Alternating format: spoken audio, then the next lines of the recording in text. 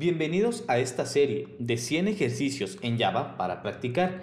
En este primer ejercicio vamos a calcular un número al azar.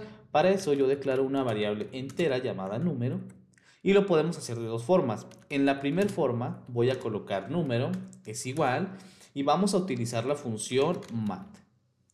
Y vamos a utilizar la librería mat.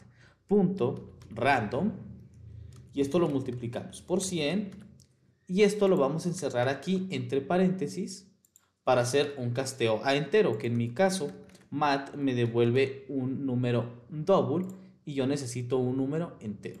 Si nosotros imprimimos esto colocando SOUT tabulador, número, más el número que calculamos, y si nosotros ejecutamos podemos ver que me calcula un número entre 1 a 100. Si seguimos ejecutando, me va a seguir arrojando números entre 0 y 100.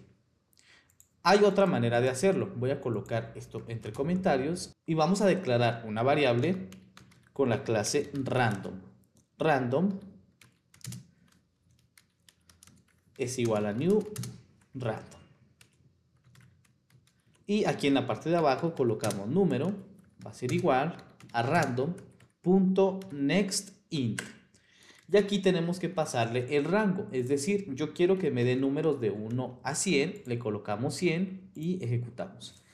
Y de igual manera me sigue lanzando números entre 1 a 100. Si yo coloco, por ejemplo, aquí 20, quiero que me calcule números entre 0 y 20.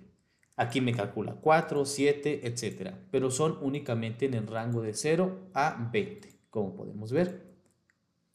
Y en esto consiste este ejercicio. Espero que te sea de utilidad y nos vemos en el siguiente video.